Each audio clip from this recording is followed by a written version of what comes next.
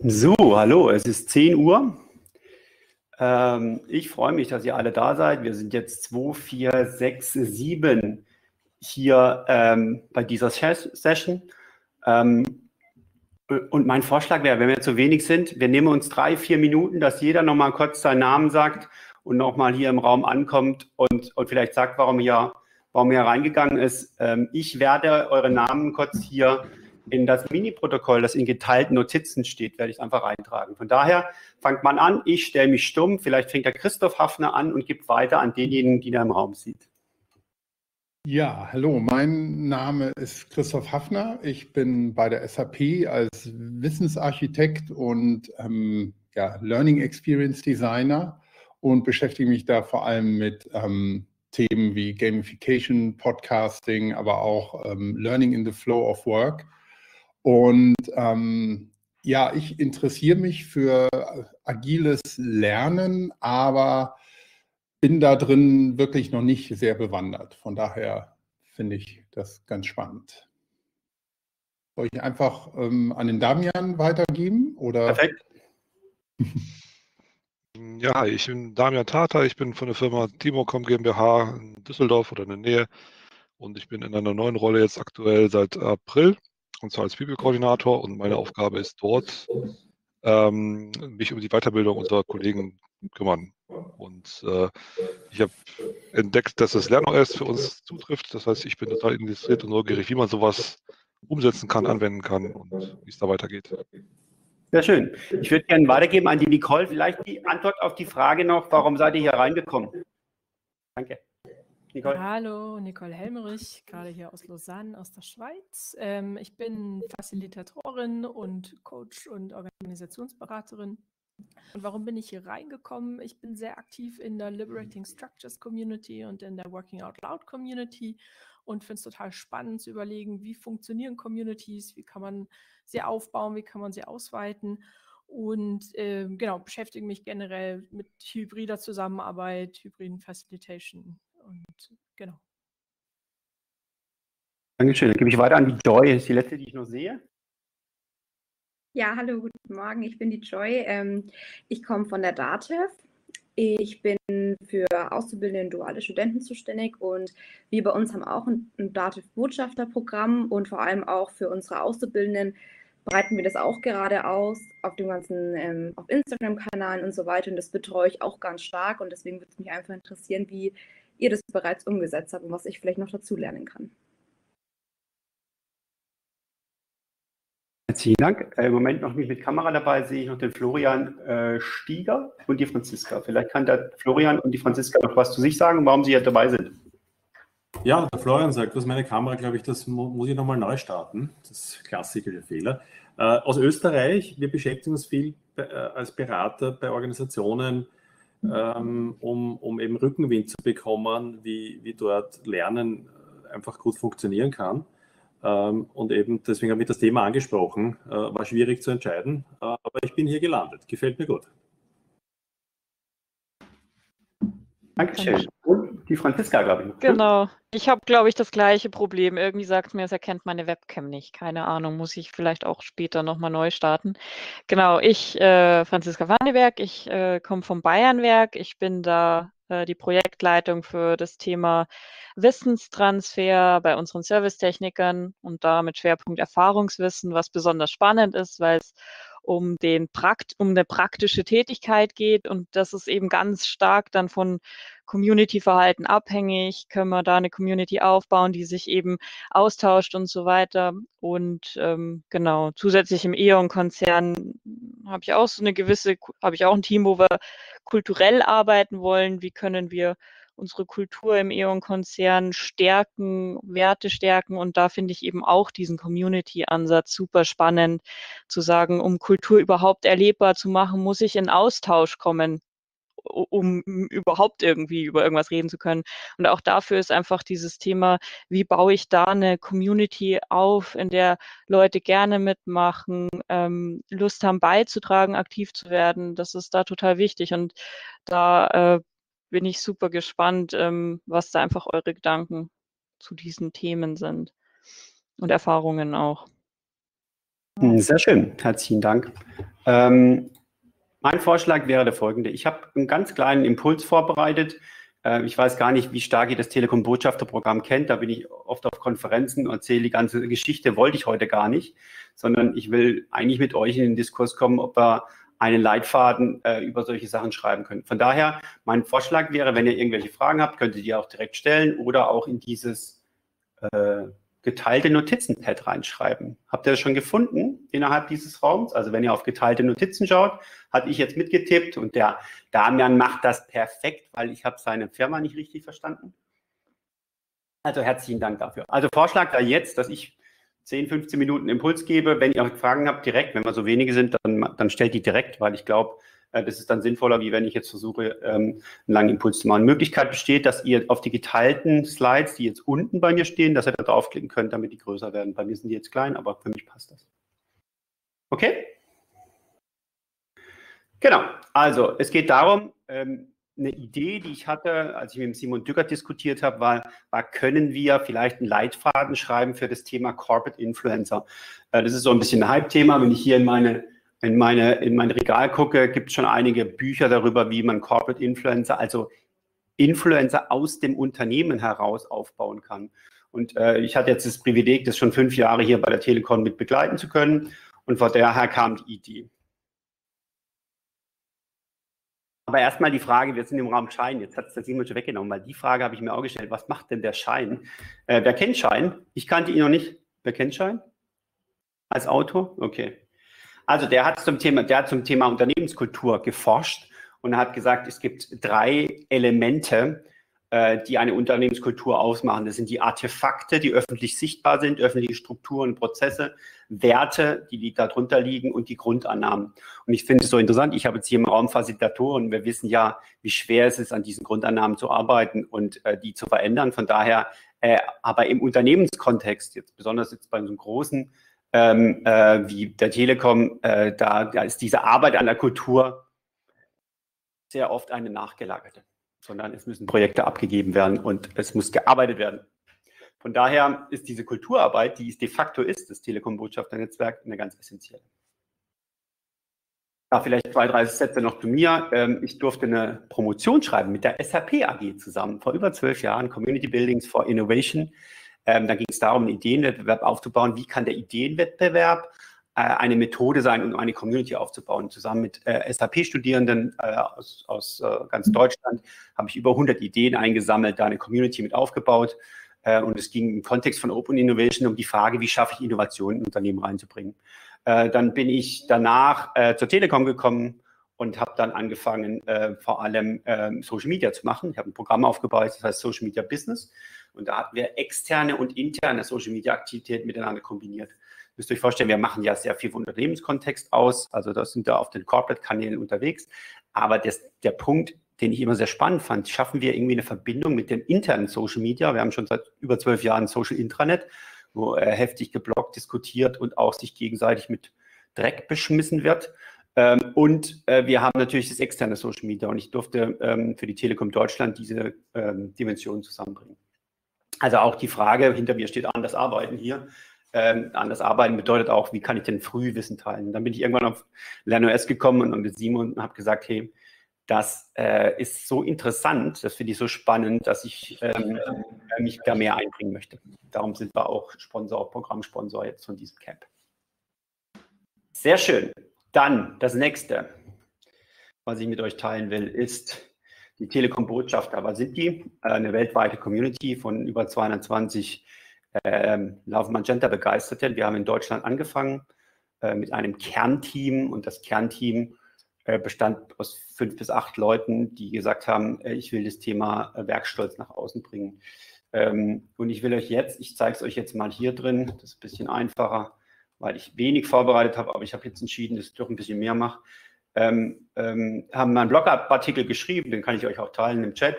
Ähm, äh, wo wir äh, die zehn oder zehn häufigsten Fragen, die, die an das Telekom-Botschafterprogramm gestellt werden, beantwortet haben. Und ich will eigentlich nur auf eine Kernsache eingehen. Wir haben eine einzige Slide gemacht am Anfang von fünf Jahren und das ist die da. Äh, wir haben ein Leitbild entwickelt zusammen mit der, Kern, mit der Kerngruppe. Wir haben eine Mission und Ziele entwickelt.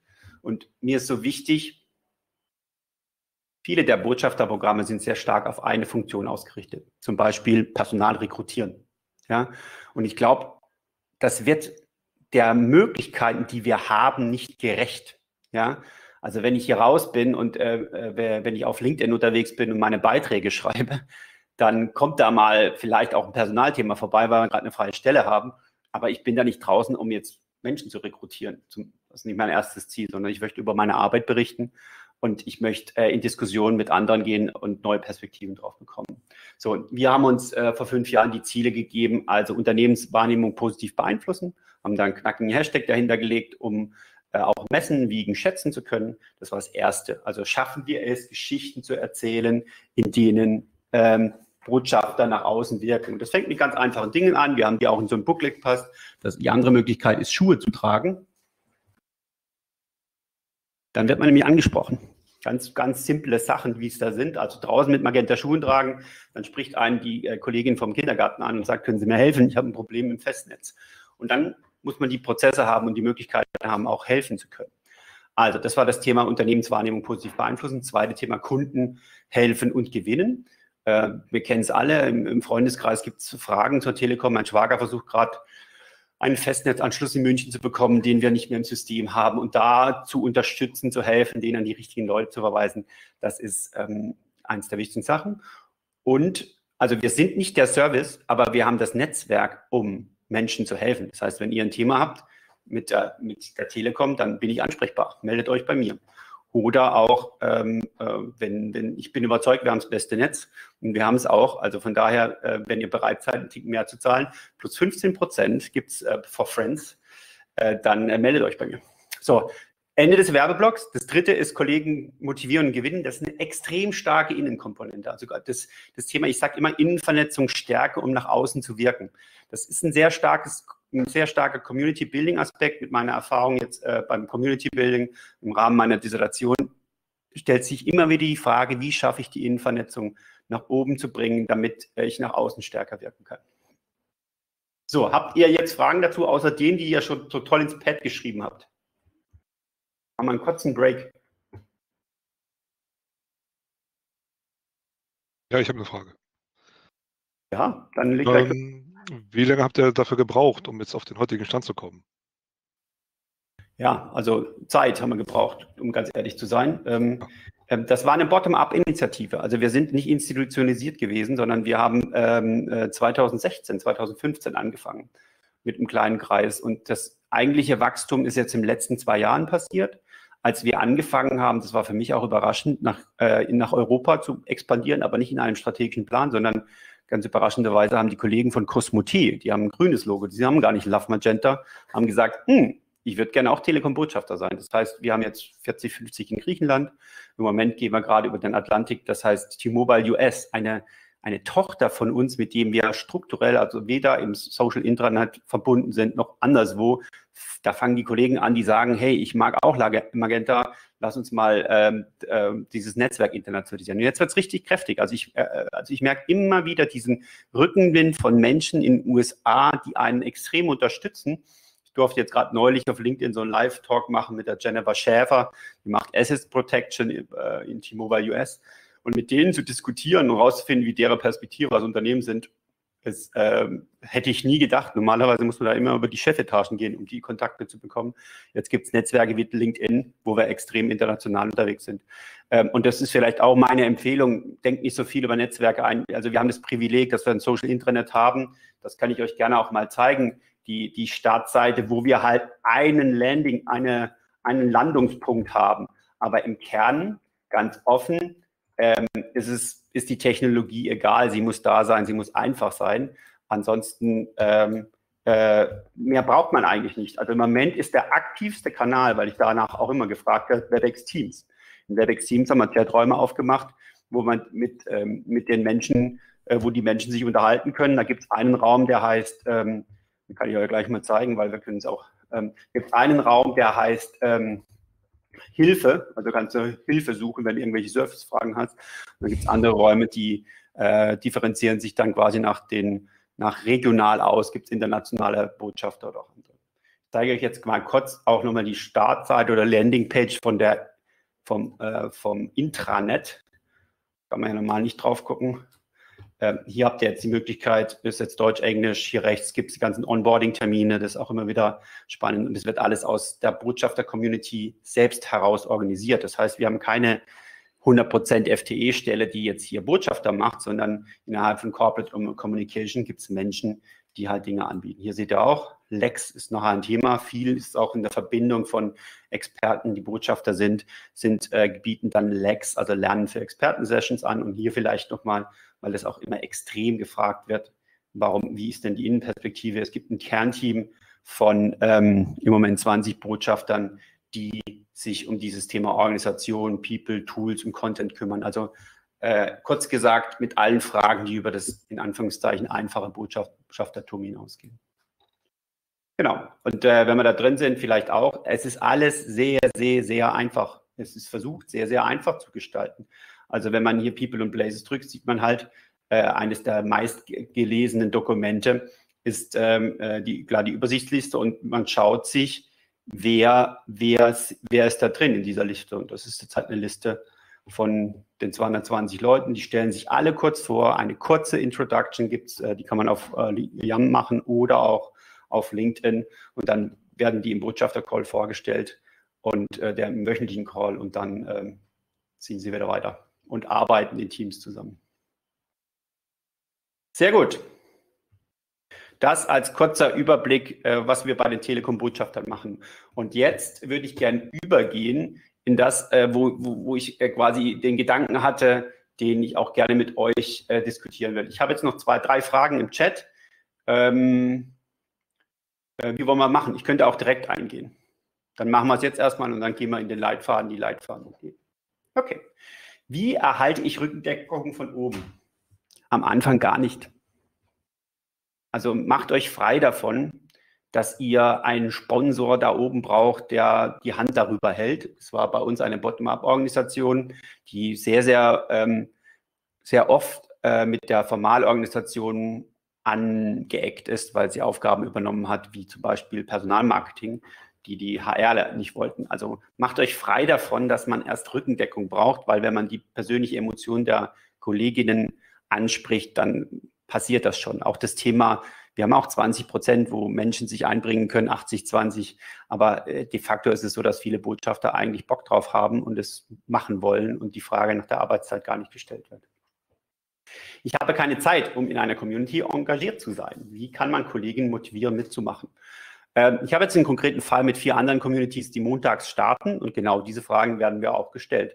Und ähm, ich glaube, weniger PowerPoint, mehr Community Building war meine Antwort, weil wir haben auch eine Beratung drin, die viele Nutzenslides geschrieben hat. Also hier oben im Kopf, ja, das nützt dir Folgendes, du kannst wissen, du kannst dich persönlich weiterentwickeln. Ja, das steht alles toll auf Slides. De facto kann man das nicht, geht das nicht über den Kopf. Das muss man erfahren, dass der Blick über den Tellerrand mit einem Kollegen, der zwei Bereiche weiter ist, dass das einen weiterbringt.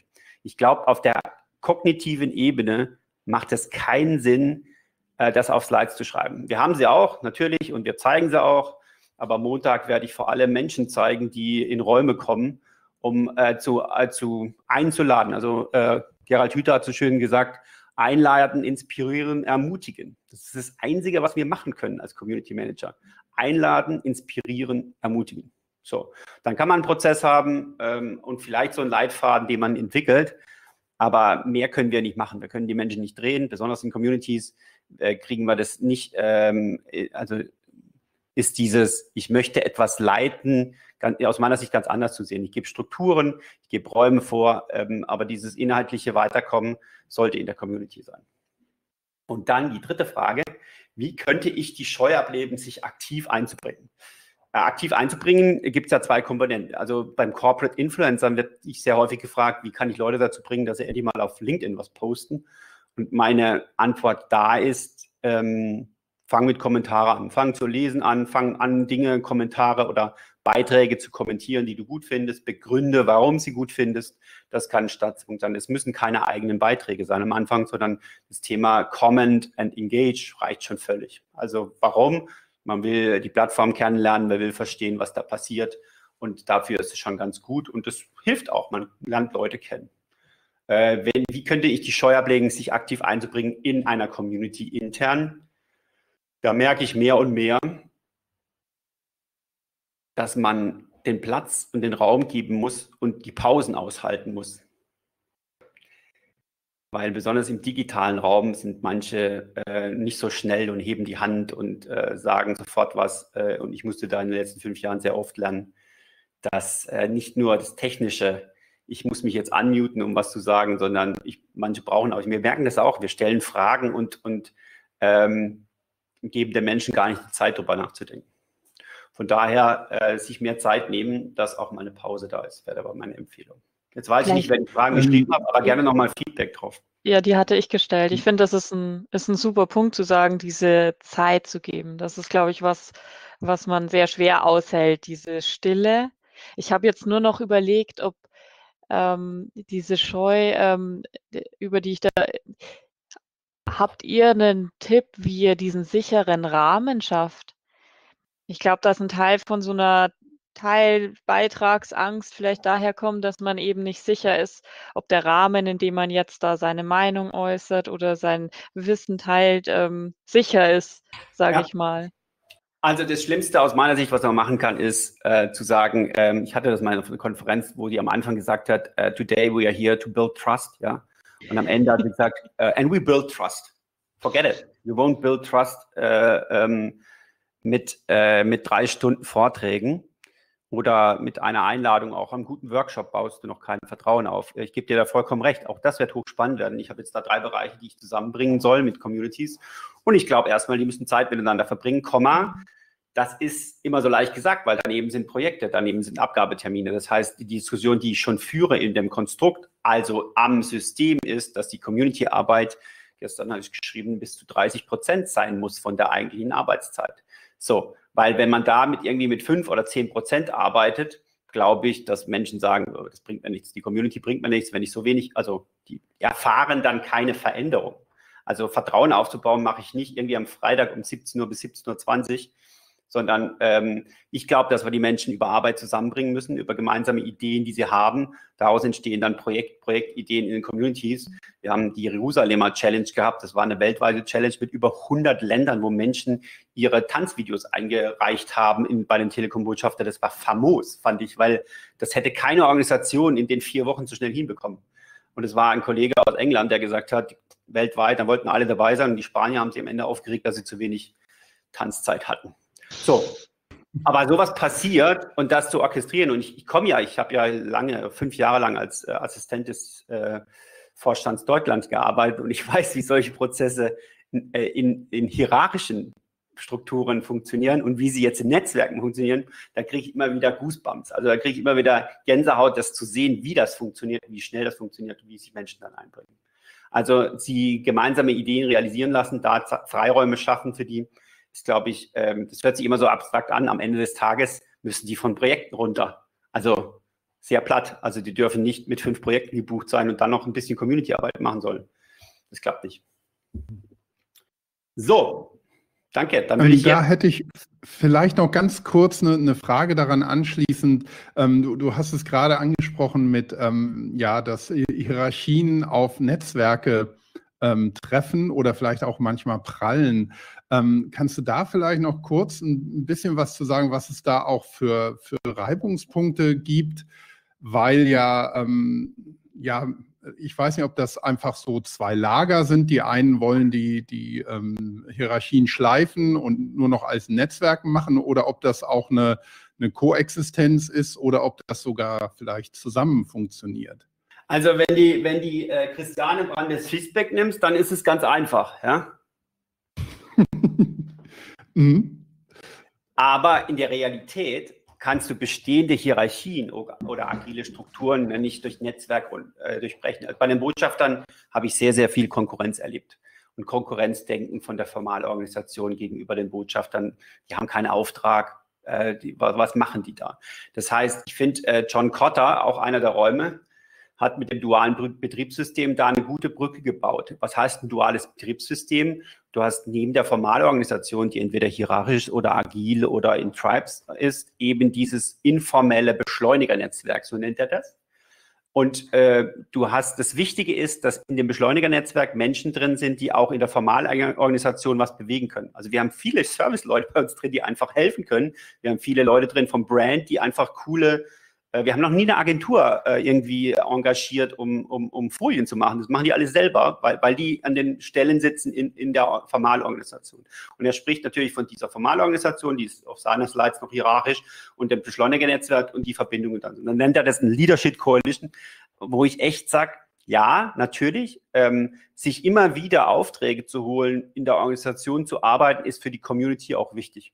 Das heißt, wir haben bei uns einen Community Manager mit Alexander Lügen, der sehr, sehr stark darauf achtet, immer wieder die, die Marketing-Leute, die HR-Leute und alle, die verantwortlich sind, mit in die, in die Telekom-Botschaft der Community mit reinzubringen. Das geschieht wöchentlich in einem Call, dass quasi die Fachbereiche ihre Themen, ich würde fast sagen, anbieten. Jetzt, äh, das hat auch eine Zeit gedauert, aber am Anfang war das auch eher, sie einzuladen. Teilweise wollen wir die Menschen auch als Community-Mitglieder haben, weil wir sagen, es ist viel, viel besser, du bist in der Community, um zu verstehen, dass vielleicht deine Botschaft, die du gerade hast, von den Botschaftern gar nicht so verbreitet wird, weil es, nicht ihre persönliche Botschaft ist. Ähm, ähm, aber es ist viel konfliktär und ich bin vor drei, vier Jahren sehr, ähm, sage ich mal, konfliktbehaftet. Ich habe mir viele blaue Flecken geholt, weil ich als einer der Verantwortlichen für diese Telekom-Botschafter stand und äh, äh, manchmal auch Dinge, also wir arbeiten im Netzwerk und jeder ist für sich selbst verantwortlich.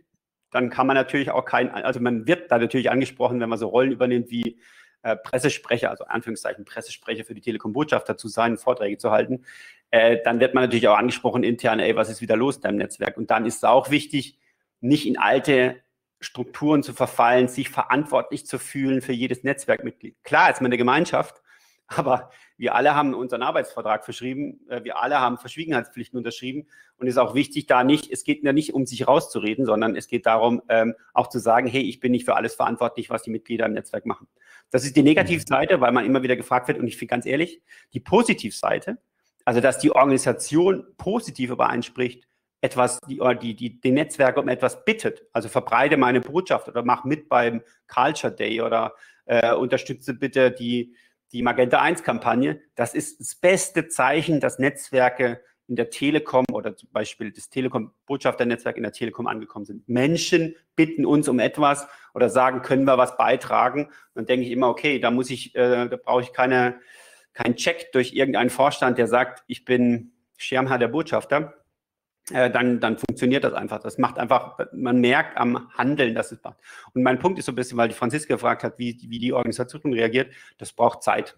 Also ich hatte viele auch, die offen zu mir waren, die gesagt haben, ich spinne die, so Magenta, das hat überhaupt keinen Wert für das Unternehmen, die sollen, die sollen ihre Glasfaserkabel spleißen oder den Service richtig machen. Ich habe keinen Bock darauf, äh, dass die Magenta tragen. Ja? Und vor fünf Jahren war das auch direkter Gegenwind ganz offen, für vier Jahren auch noch. Aber der Wind ist leiser geworden mit der Zeit, dass wir gezeigt haben. Wir haben auch also quasi immer wieder erzählen, was, was, was Dinge sind, die funktionieren. Also hier sind viele Servicegeschichten drin, wo ein äh, Barbaros Kamann in Berlin eine ältere Frau im Zug getroffen hat und dann schnell ein, ein, äh, ihr ein, ein Prepaid-Konto wieder aufgeladen hat und so Sachen, die halt passieren. Und wenn man erzählt, das ist ein Botschafter, der jetzt im Service oder in anderen Sachen gewirkt hat, dann, ähm, dann ähm, fangen die Menschen auch an zu sagen, oh, das kann uns als Firma doch was bringen und es ist nicht nur Magenta Shishi.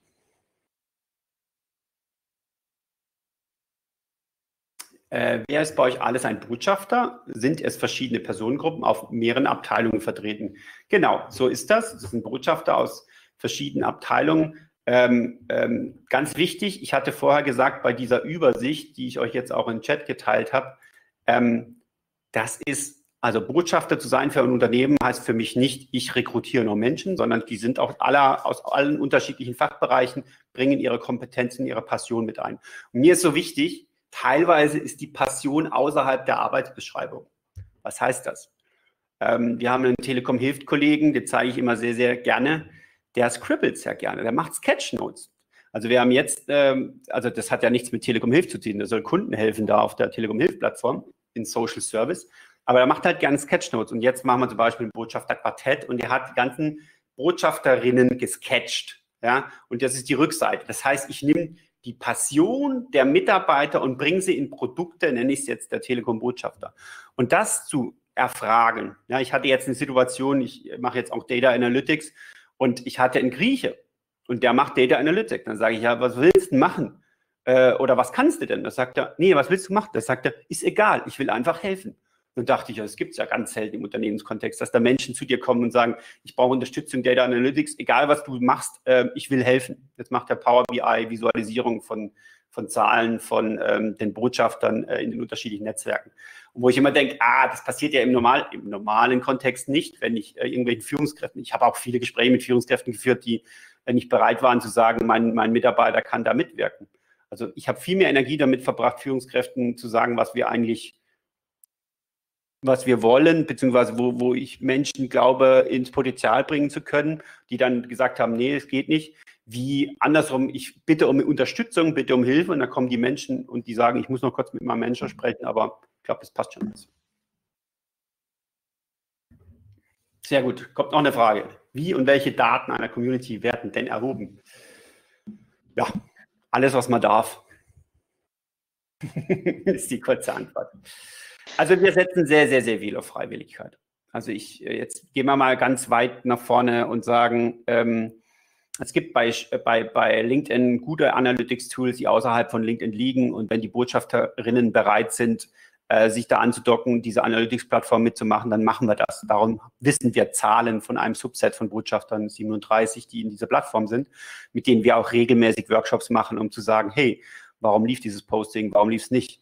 Ähm, und äh, das sind sehr hohe Zahlen. Also die äh, müssen Sie nicht verstecken gegenüber Corporate Accounts äh, und äh, die werden immer mehr werden, weil das Thema persönliche Kommunikation immer mehr werden wird. Das heißt, ähm, wir messen da, was wir messen dürfen und was die Botschafter auch bereit sind zu geben. Weil ich bin auch ganz offen, ähm, ähm, viele der Bedenken, die wir in der Einführung mit Betriebsräten führen, also Leistungsüberwachung und andere Sachen, die sind eher wenn die Botschafter gefragt werden, äh, minus eins mal Leistungsüberwachung. Nein, die wollen zeigen, was sie leisten und wollen auch äh, das gewertschätzt bekommen. Das heißt, wenn wir irgendwelche äh, Botschafter des Monats haben wir jetzt nicht, aber äh, wenn hier irgendwelche Postings durch die Decke gehen, dann wissen wir natürlich, welche Reichweiten die haben und dann wird das auch in der Community gefeiert. Also, also äh, und die machen das freiwillig. Also es ist nicht die Frage, ähm, ähm, ist es nicht Leistungsüberwachung, sondern äh, let them shine, würde ich sagen. Also lasst sie scheinen und das geht auch dadurch, dass man Zahlen erhebt. Äh, das ist nicht alles. Äh, Alex macht sehr, sehr viel auch über, also quasi anderen, ähm, naja, die anderen die Bühne geben, ist es im Grunde. Und äh, also so war es hier in einem Booklet zu sein oder jetzt in, der, in dem Telekom-Botschafter Quartett dann hoffentlich in zwei Monaten auch online zu sein. Da haben die ersten 36 Botschafter mit einem persönlichen Profil auf unserer Corporate Website. Äh, das gibt denen natürlich schon Kraft. So, es ist 33, ich habe nur noch zwölf Minuten. Jetzt brauche ich euch. So. Die arbeiten eigenmotiviert, freiwillig, selbstorganisiert, hatte ich jetzt aber auch ein bisschen erklärt. Diese Selbstorganisation ist mir wichtig, auch nochmal zu sagen, man braucht Hilfe, um sich selbst zu organisieren. Selbstorganisation heißt nicht, macht mal, wir lassen euch alleine, sondern es gibt einen Community Manager, es gibt Leute wie ein Kernteam, die sagen, wir versuchen Räume zu schaffen. So, die Idee, die ich hatte, hoppla, ist, äh, ich möchte das Wissen weitergeben, das, was wir in den fünf Jahren hatten. Und ich finde das LernOS mit den drei Dimensionen sehr, sehr gut. Organisation, welche organisationalen Rahmenbedingungen brauche ich? Brauche ich eine Social Media Guideline? Brauche ich, welche Technologien brauche ich? Was braucht die Organisation, um solche, ähm, um solche Botschafterprogramme aufzubauen? Was sind die Givens? Ähm, ähm, dann für mich extrem wichtig, ich glaube, das ist extrem unterschätzt, das Team. Also wir sind jetzt 220, Klar, es gibt ein Kernteam, es gibt ein International-Team. Wie schaffe ich informell diese Teamprozesse zu unterstützen, dass die Teams äh, sich aufteilen und anfangen, an Projekten zu arbeiten? Bei uns sind es die Arbeitsgruppen, die dann zum Beispiel die Jerusalemer Challenge machen oder andere Themen. Ähm, wie schaffe ich die systematisch zu unterstützen? Das ist die Teamperspektive. Die hätte ich gerne in dem Leitfaden drin. Und dann bin ich auf der Person. Das ist bei den Corporate Influencern genannt Personal Branding. Ja, das ist für mich immer super kurz gesprungen, wenn ich äh, bei Corporate Influencer nur über Personal Branding spreche, weil die Teamperspektive fehlt mir. Was machen wir zusammen? Ich bin hier nicht nur eine Eigenmarke, sondern ich arbeite fürs Unternehmen und eben die organisationale Ebene. Das wäre ein erster Gliederungsgedanke für so ein Lerners Leitfaden für, ähm, die äh, Corporate Influencer. Und der zweite, das ist die Session gerade neben mir. Um 10 Uhr geht es um das Thema Community Building, Leitfaden als Grundlage. Ich glaube, und so bauen wir auch die Botschafter auf, dieses Thema, die Unterscheidung in diese, ähm, in diese Eigen, Eigenschaften des, ähm, des äh, Community Building Canvas ist richtig gut. Gibt eine gute Struktur. Klar haben wir die Botschafter nicht nach dem Canvas aufgebaut. Das wäre ein bisschen komisch vor fünf Jahren. Aber das Thema Identität. Was ist Identitätsstiftung? Welches Ziel haben wir? Äh, dann das Thema Erfahrung. Das sind zwar nicht die Erfahrung derjenigen, die es aufbauen, sondern die Erfahrung der Mitglieder. Das heißt, immer wieder die Erfahrung der Mitglieder als Botschafter zu zählen, ist eine der Kernsachen. Also wir machen das zum Beispiel jetzt schon zweimal Zeit mit den Botschaftergeschichten. Ja, wir drucken die, wir geben die wieder ins Netzwerk, wir teilen die. So, das sind die Erfahrungen und das Thema Struktur, äh, das darunter liegt, äh, mit der Frage, wie organisieren wir uns, ähm, äh, wann treffen wir uns, was sind die technologischen Unterstützungen. Das wären für mich so zwei strukturierende Elemente, wenn es darum geht, ähm, so einen Leitfaden zu schreiben. Und dann suche ich Mitentwicklerinnen. Habe ein Ziel, äh, also nicht übermorgen, sondern ich glaube, der Community-Leitfaden kommt im Herbst raus, habe ich jetzt vom Achim Brück gelernt. Äh, dass wir uns an den Reihen ranhängen und eine Instanzierung machen in dem Sinne von für die Themen, für das Thema Corporate Influencer äh, gibt es folgende Leitfragen oder gibt es einen folgenden Leitfaden, um das zu tun. So, jetzt haben wir noch acht Minuten. Was geht euch durch den Kopf? Welche Ideen habt ihr, wenn ihr das Bestehende oder das, was ich mir gedacht habe, äh, ergänzt? Und ein Test-User ist da zur Verprobung des Leitfaden. Markus, du bist witzig. Du sollst ihn schreiben mit mir. Du sollst ihn nicht testen. Mann, na, na, ja, würde ich gern, aber ich habe da, glaube ich, erstmal noch nichts beizutragen. Aber ich habe das in anderen Zusammenhängen jetzt auch bei zum Beispiel Diversity und so gesehen, dass das bei uns gerade ganz gut funktioniert. Also Leute, okay. die da schon erste Schritte machen, dann wirklich auch äh, Feedback den Gruppen zur Verfügung zu stellen. Und das kann ich sehr gerne anbieten. Mit mir als Mitentwickler hättest du, glaube ich, nicht so viel Freude. Dankeschön, Markus. Habt ihr noch Gedanken, äh, die ihr teilen wollt oder sagen, hey, äh, da würde ich mich gerne einbringen? Ich sprich jetzt mal die Joy direkt an. Was geht dir durch den Kopf?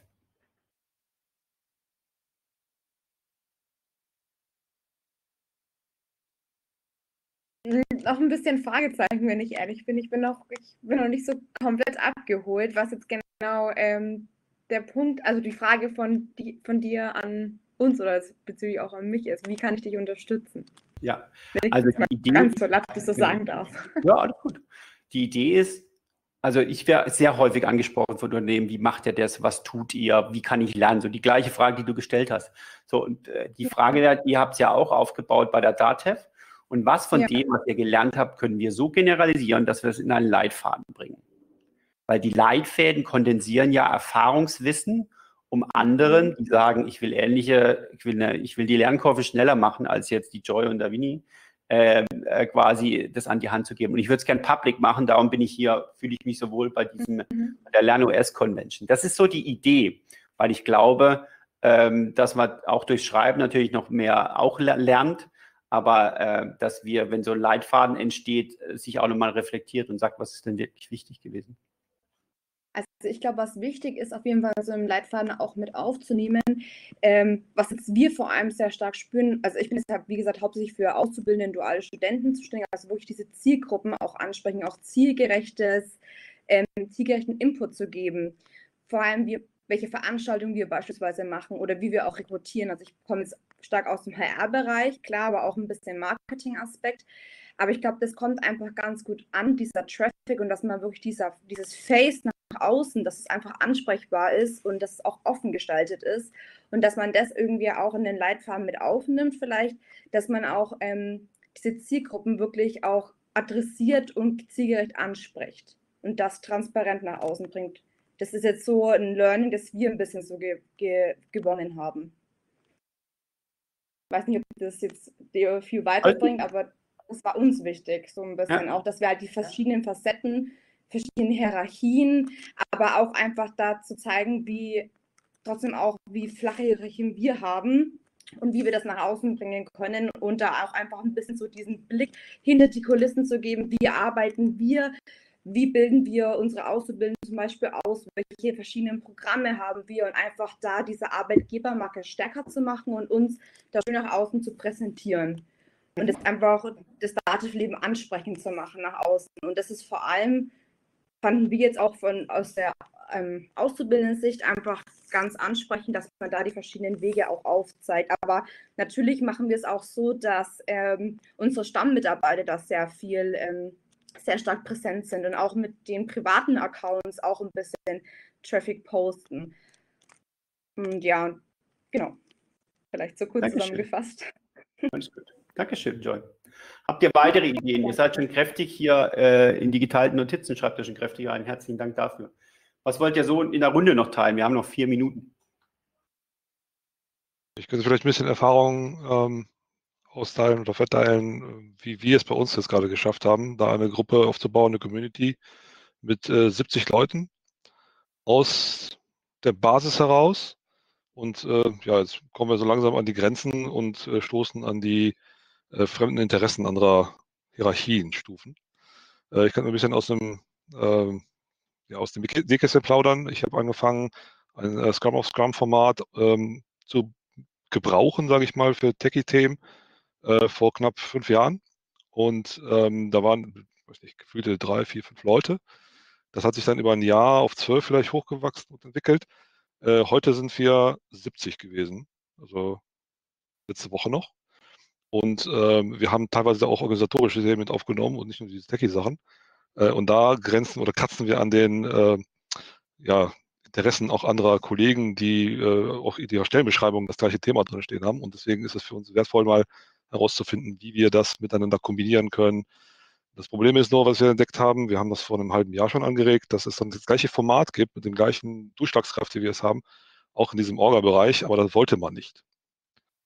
War mhm. unsere Empfehlung, aber die hat man nicht so aufgenommen. Das heißt, ich würde da mit dem Beispiel vorangehen und das wäre der Beitrag hier dass man quasi klein startet, die Gruppe langsam wachsen lässt äh, und immer beständig bleibt. Das ist das ganz, ganz Wichtige, dass man Regelmäßigkeit dort zeigt und Präsenz zeigt und auch am Bad äh, ganz beharrlich an dem Ball bleibt. So äh, kriegt man das Ganze dann, glaube ich, in die Köpfe rein und äh, verankert. Ja. Also ich glaube auch, es ist natürlich auch für den Fachbereich schwierig, wenn die eigene Aufgabe, die in der Stellenbeschreibung steht, übernommen wird durch jemand anders und das auch noch sehr erfolgreich ist. Ähm, und auch da gilt aus meiner Sicht, Damian, man kann die nur einladen. Kann, man kann sie immer wieder einladen. Ich hatte einen Bereich, egal welcher, den habe ich immer wieder eingeladen.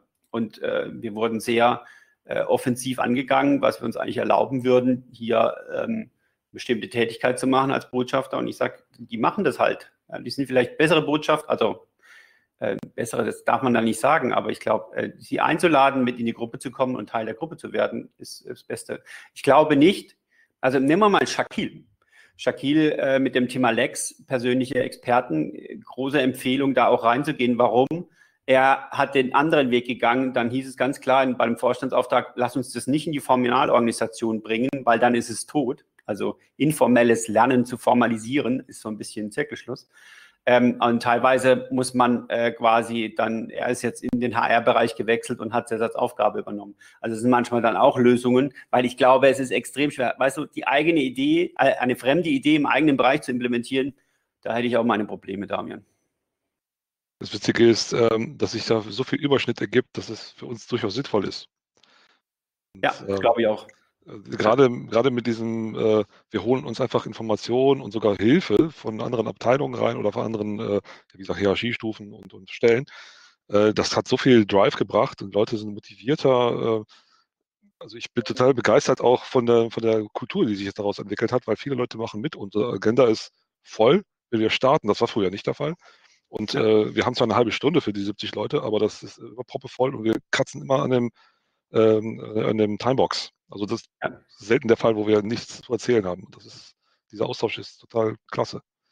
So, super. Das ist ein gutes Schlusswort gewesen, Daniel. Dieser Austausch fand ich total klasse. Herzlichen Dank, dass ihr mit dabei äh, gewesen seid heute beim Austausch. Ich äh, werde das Protokoll jetzt einmal runterladen, das macht aber ein Kollege auch. Ich danke euch dass ihr mitdiskutiert habt und wünsche euch noch eine coole LOSCON.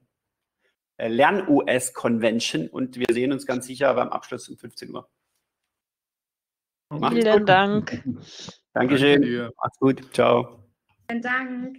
Mach jetzt noch einen. Genau. Macht's gut. Tschüss. Ciao.